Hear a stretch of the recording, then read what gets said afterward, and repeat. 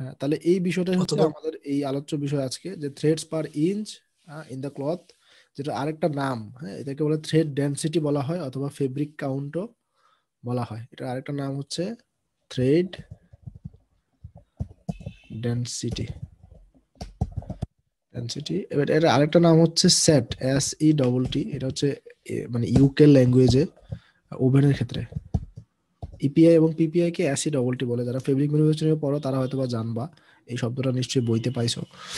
তো যাক, এই তিনটা একই বিষয় থ্রেড পার ইঞ্চ হ্যাঁ বা থ্রেড ডেনসিটি অথবা ফেব্রিক কাউন্ট অথবা sett S E double T sett এটা ওভেন ফেব্রিকের শুধুমাত্র ইপিআই পিপিআই কে সেট বলে নিটেডটা না।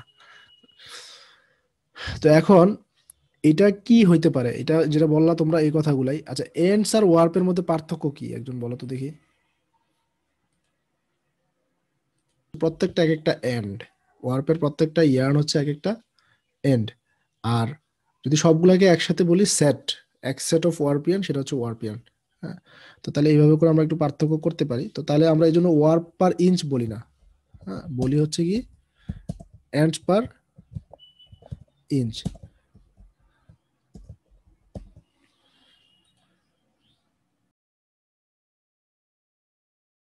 যেগুলো থাকে সেদেরকে বলতেছি হচ্ছে ডব্লিউপিআই আর বাকিটাকে বলতেছি সিপিআই মানে কোর্স পার ইঞ্চ এটা শুধু সবসময় যে সিপিআই ইপিআই হবে তা না ডব্লিউপি সিএম হতে পারে সিপিসিএম হতে পারে ইপিসিএম হতে পারে পিপিসিএম হতে পারে, অর্থাৎ প্রতি সেন্টিমিটারে প্রতি ইঞ্চে হ্যাঁ হতে পারে।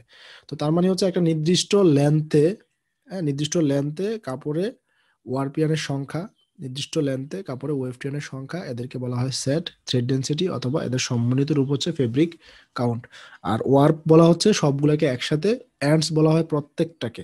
একটা অ্যান্ডস দুইটা অ্যান্ডস তিনটা অ্যান্ডস একটা পিক দুইটা পিক তিনটা পিক চারটা পিক এরকম।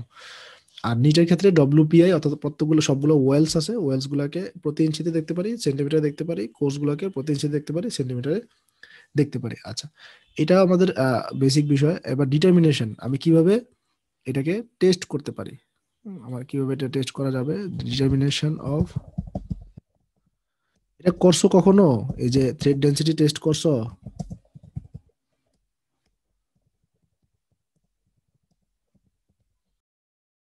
এটা কি কখনো করছ তোমরা নিজেরা? মানে এই ফেব্রিকের থ্রেড পার ইঞ্চ জি স্যার ল্যাবে করা ছিল একবার। হ্যাঁ এটা কীভাবে করতে হয় বলো তো একজন? স্কেল থাকে আর ওইটাতে প্রতি ইঞ্চিতে কয়টা থ্রেড এটা পাতস কাজ দিয়ে হিসাব করা লাগে আর কি। আবার বলো তো প্রথম কথাটা শুনতে পাই নাই।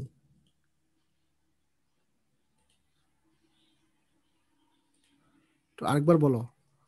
বুঝছি তোমার কথাটা আরেকবার বলো একটু। একটা একটা স্কেল থাকে স্কোয়ার টাইপের এটা হ্যাঁ এটার নাম কি?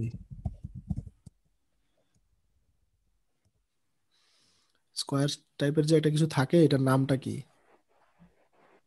Sir counter class counting glass counter না কাউন্টিং গ্লাস হ্যাঁ। Use of counting glass counting glass এটা আরেকটা নাম আছে জানো কেউ?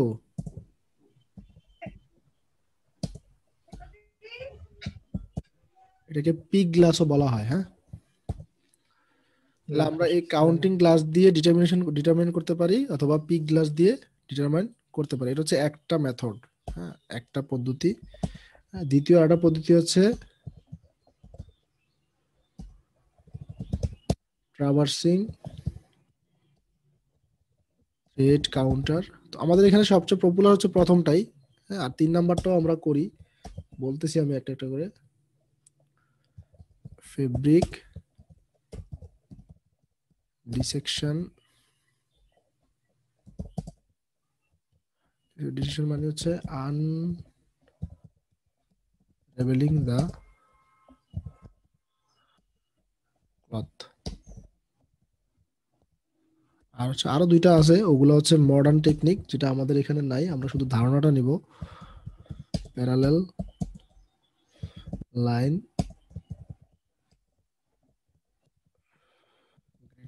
আর হচ্ছে পাঁচ ট্যাপার লাইন। গ্রেডিং এই। আচ্ছা পিক গ্লাস তো যারা চিনে না তাদেরকে আমি নেটে সার্চ দিয়ে দেখাই দিচ্ছি। অনেকে হয়তো দেখে নাই। সবাই দেখার কথা দেখতেছো না? এই যে এটা। হ্যাঁ, যেখানে কিনা এই যে এক ইঞ্চ পরিমাণ ভিতরে এটা দিয়ে যখন একটা কাপড়কে দেখা হয় তখন এটাকে এক ইঞ্চি দেখা যায়। অর্থাৎ এদিক থেকেও তুমি এক ইঞ্চ দেখতে পাবা, এদিক থেকেও এক ইঞ্চ দেখতে পারবা এক ইঞ্চের বেশি দেখতে পারব না, কারণ এটার যে ডাইমেনশনটা এক ইঞ্চ বাই এক ইঞ্চ এভাবে করে ডেভেলপ করা। আর এখানে যে গ্লাসটা আছে, সেটা হচ্ছে একটু উত্তল লেন্স আর কি কনভেক্স যেটাতে একটু জুম করে দেখা যায় মানে বড় করে দেখা যায়। উত্তর লেন্সের যে কাজ, এটা, তো তখন এটাকে তোমাকে স্পষ্ট আর একটু জুম করে বড় করে দেখতে সহযোগিতা করে কাপড়টা। তখন গুনতে সহজ হয়, এটার সাথে পিন থাকে পিনের সাহায্যে একটা একটা করে গুনে নিতে হয়। তো এটা হচ্ছে একটা মেথড প্রথমটা ইউজ অফ কাউন্টিং গ্লাস অথবা পিক গ্লাস আমরা পিক গ্লাস দ্বারা এই কাজটা করতে পারি।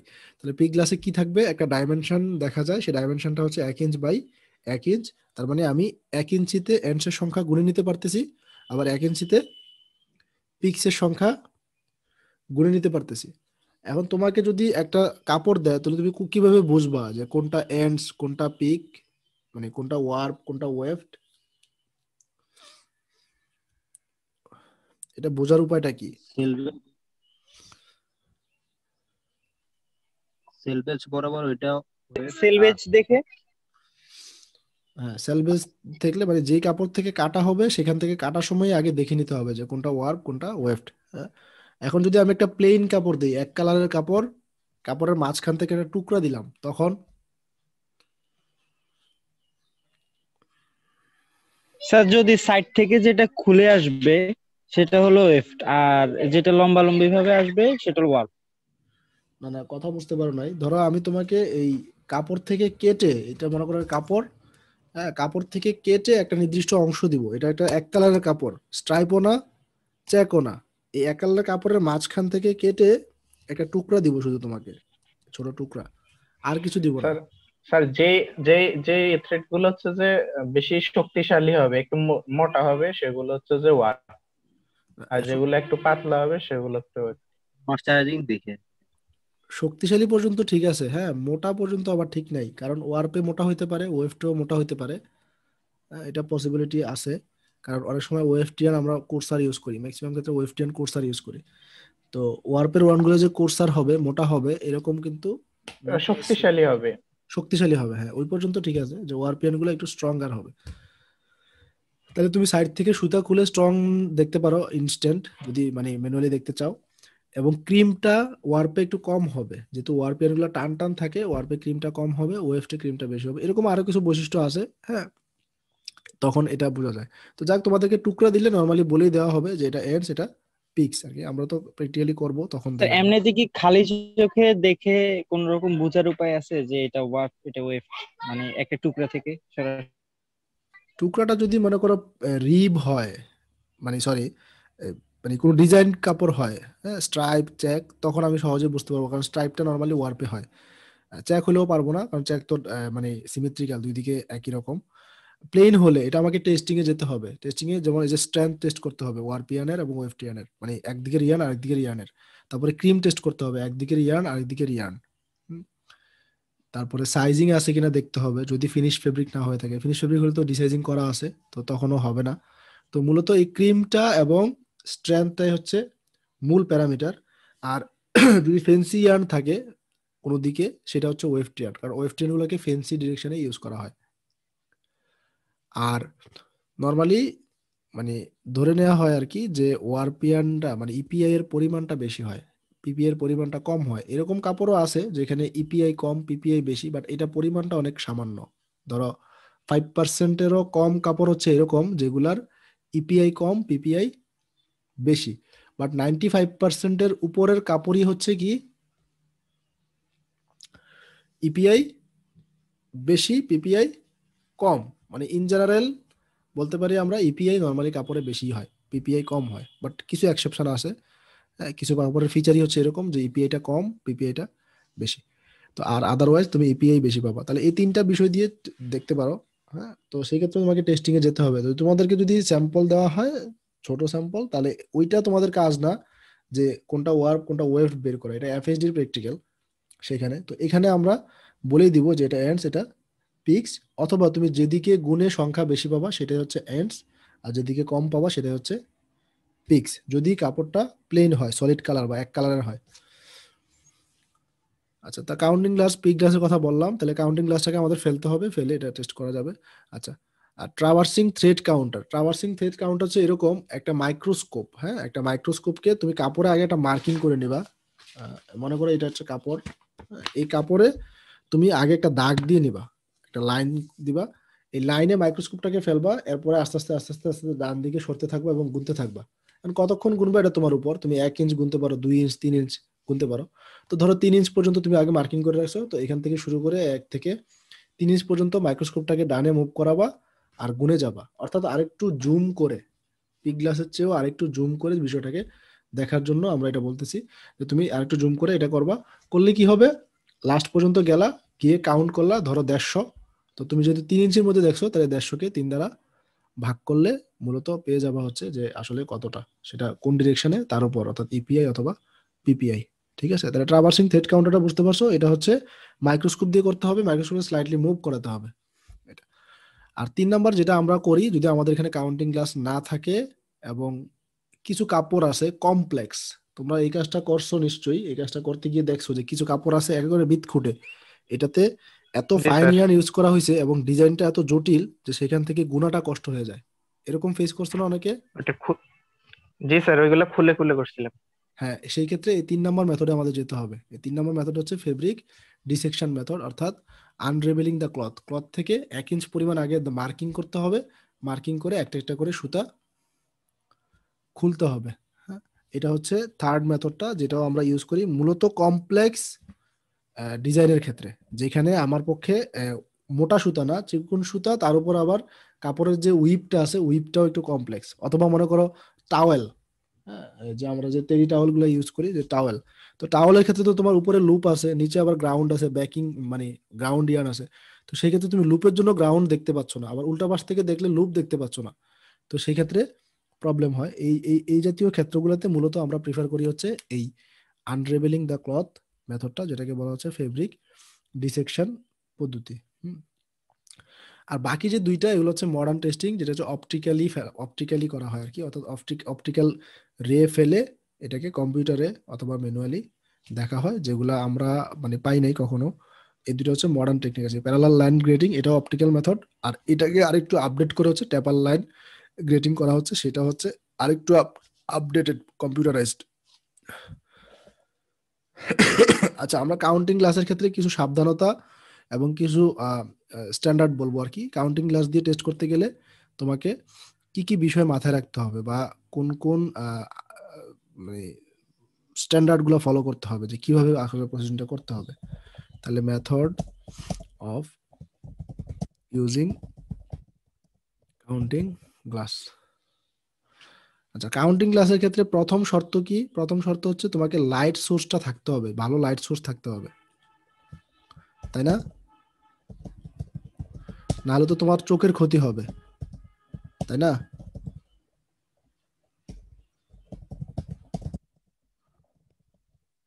টেবিল এই জিনিসটা তোমাকে আগে প্রথমে দিতে হবে আমাকে। আমি যদি এই টেস্টটা করতে চাই, তোমাকে যদি বলি যে একটা অন্ধকার বা কম আলোর জায়গায় তখন তোমার চোখে অনেক প্রেশার পড়বে। এই জন্য এটা হচ্ছে আমাদের প্রথম কাজ, যে এটা এনশিওর করা। দ্বিতীয় হচ্ছে আমাকে পাঁচটা ডিফারেন্ট প্লেসে নিতে হবে। এক্স্যাক্টলি আমি যদি ইপিএ পিপি একটা ফুল ফেব্রিকের বের করতে চাই, এটা হচ্ছে সাজেস্টেড টেস্টিং অর্গানাইজেশনগুলো কর্তৃক, যে five different places has to be checked মনে করো। তো এই ক্ষেত্রে কি করতে হবে? পাঁচটা ডিফারেন্ট প্লেস যাতে আবার সেম থ্রেড না হয়। হুম। শুড নট মনে করে কি লিখতে পারি? যে should not be same thread twice এরকম আর কি। অ্যান্ড আচ্ছা এটা থাক এটুকুই থাক হ্যাঁ। তো এটা বুঝছ কিনা? এই কথাটা না বুঝলে আমি এক্সপ্লেন করে দিব। Five different places has to be checked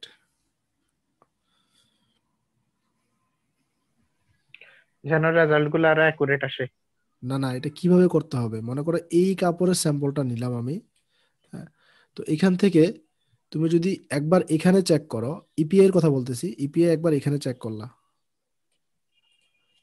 ধরো ইপিআই টেস্টিং আমি লিখে নিচ্ছি ধরো ইপিআই তো ইপিএ টেস্টিং করার সময় তুমি এখানে যেহেতু একবার টেস্ট করছ এই বরাবর নিচে এবং উপরে যাতে আরেকবার কাউন্টিং গ্লাসটাকে না ফেলো। এটা বুঝতে পারো ফাইভ ডিফারেন্ট প্লেস এন্ড এটার নিচে যদি তুমি এখানে আবার নাও ধরো এখানে নাও এখানে আরেকবার নিলা তাহলে কিছু ইয়ার্ন আগে গুনছিল না এই বরাবর কিছু ইয়ার্ন আগে গোনা হয়েছে না এই ওয়ারপিএনগুলা যেটা এখানেও গোনা হয়েছে। এই কাজটা যাতে না হয় তাহলে তোমার এই পাঁচটা ডিফারেন্ট প্লেস বলতে বোঝাচ্ছে এখানে একবার নিলা আরেকটা তুমি হয়তো এখানে নিতে পারো। হ্যাঁ, আরেকটা হয় এখানে নিতে পারো। যেহেতু আমি ওয়ার্পের কথা বলতেছি হ্যাঁ, আবার ধরো এখানে নিতে পারো বা এখানেও নিতে পারো অসুবিধা নেই এখানে নিলা। এরকম। তো এই এই ওয়েফটিয়ানটা দুইবার আসা সমস্যা নাই বাট যেহেতু ওয়ার্প গুনতেছি আমি ওয়ার্প গুনার সময় ওয়ার্প লাইন বরাবর পাঁচ জায়গায়। আবার সিমিলারলি ওয়েফট গুনার সময় ওয়েফ গুনার সময় সবগুলাই ভুল, কারণ এটা একবার গুণা হয়েছে ওয়েফট, এই ওয়েফটা আবার গুণা হচ্ছে।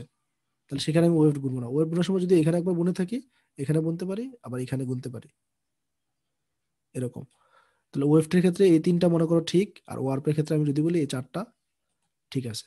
অথবা ওয়েফটে আমি এই তিনটাকে ঠিক বলতে পারি, বা এই, এইটা এইটা, এটাকে ঠিক বলতে পারি। তো এটাই হচ্ছে ব্যাপার যে আমার যাতে সিমিলার জায়গাতে দুইবার ইয়ানগুলো না টেস্ট করা হয় এরকম ভাবে পাঁচ জায়গায় ইপিআই পিপিআই গুনে এটাকে আমি অ্যাভারেজ করব। বা আসলে এক্স্যাক্টলি পাওয়ার কথা এক্স্যাক্টলি না পেলেও সমস্যা নাই, পাঁচ জায়গায় গুনে অ্যাভারেজ করব।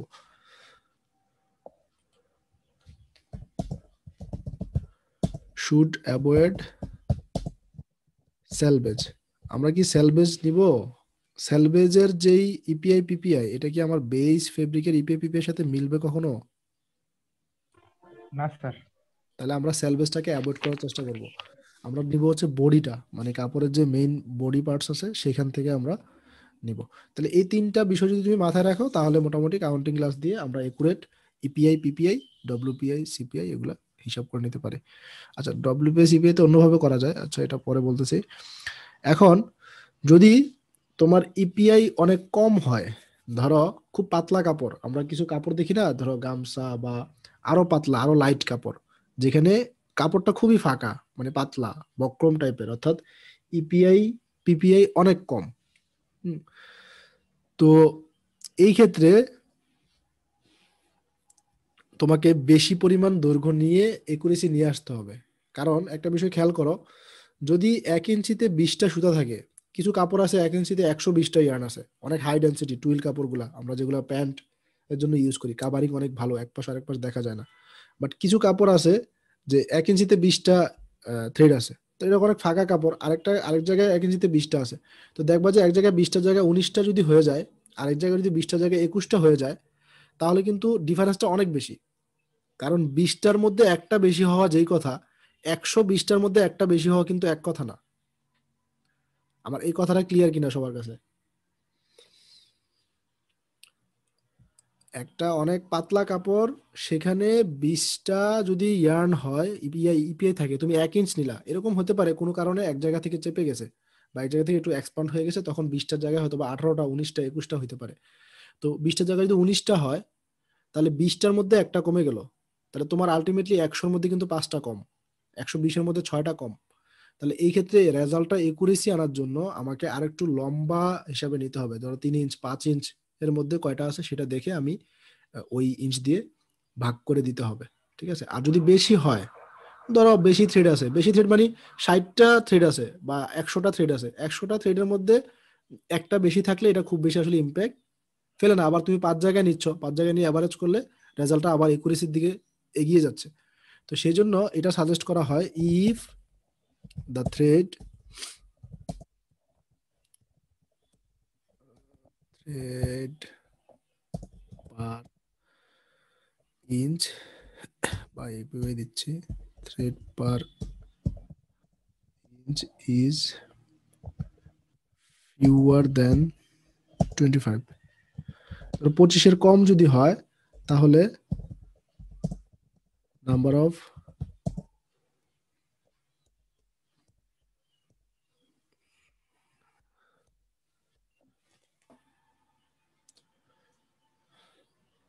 পঁচিশের বেশি হলে এই কাজটা করতে হবে যে আমি এটাকে তিন ইঞ্চের মধ্যে থ্রেড ডেন্সিটি দেখব। হ্যাঁ, তিন ইঞ্চের মধ্যে দেখে অ্যান্ড এবং পরবর্তীতে আমি তিন দিয়ে ভাগ করে দিব তাহলে প্রতি ইঞ্চিতে কতটা আছে সেটা পেয়ে যাব। হ্যাঁ, এই হচ্ছে ব্যাপার। এটা একটা গেল। আচ্ছা এরপরে যদি আবার ন্যারো ন্যারো হয় কাপড়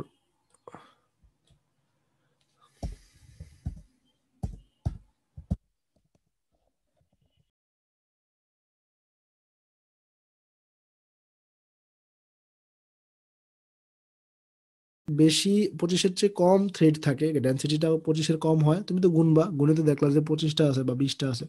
তখন কি করবা? এক ইঞ্চির মধ্যে গুনবা না। তখন তিন ইঞ্চ কাপড় নিবা, তিন ইঞ্চ কাপড়ের মধ্যে গুনবা, ধরো তিন ইঞ্চের মধ্যে বাহাত্তরটা পেলা, তখন এটাকে তিন দ্বারা ভাগ করে দিবা। অথবা তিন ইঞ্চির মধ্যে পেলা হচ্ছে ষাটটা, তিন দ্বারা ভাগ করে দিবা, বিশ হচ্ছে ইপিআই বা পিপিআই যাই হোক। আর যদি কাপড় ন্যারো হয়, ধর আমরা গত ক্লাসেও কিছু বলছিলাম যে কিছু কাপড় হয় খুব ন্যারো এরকম চিকন। তো যেটার উইথ হচ্ছে অনেক কম, যেমন টেপ লেস এই জাতীয় কাপড়গুলো আছে। তো সেগুলার ক্ষেত্রে তোমার পুরোটাই গুনে ফেলবা।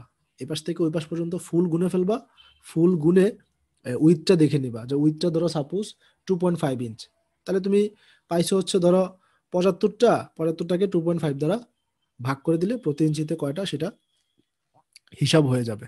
ঠিক আছে? এই দুটো কি বুঝতে পারছ কথা?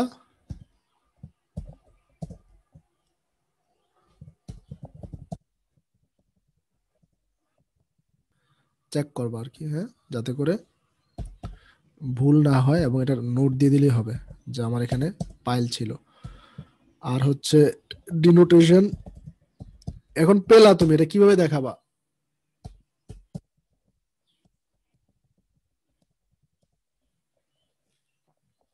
কীভাবে দেখায়? তুমি ইউপিআই পেলা পিপিআই পেলা এটাকে কীভাবে দেখায় জানো?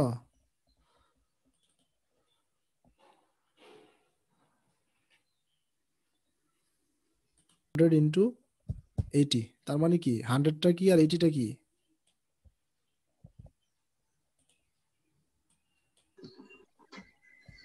PPA hundred EPA eighty EPI ends per inch হচ্ছে হান্ড্রেড আর পিপিআই হচ্ছে এইটি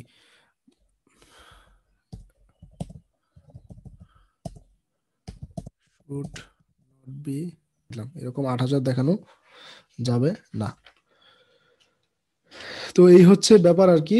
তো আশা করি এই ব্যাপারটা বুঝতে পারছ। তাহলে ডব্লিউপিআই এবং সিপিআই এর ক্ষেত্রেও আমাদের কাজটা একই, অর্থাৎ আমরা ওখান থেকে একইভাবে গুনে নিব আর কি। যে গুনে নিলে আমরা যেটা পাবো সেটাই হবে আমার এই ডব্লিউপিআই এবং সিপিআই তাহলে ওয়েফটের ক্ষেত্রে মানে নিট ফেব্রিক এবং ওভেন ফেব্রিক দুইটার ক্ষেত্রে আমরা থ্রেড পার ইঞ্চ অথবা ফেব্রিক কাউন্ট অথবা থ্রেড ডেন্সিটি অথবা সেট ওভেনের জন্য, এটা আমরা এভাবে করে চেক করে নিব। আচ্ছা এরপরে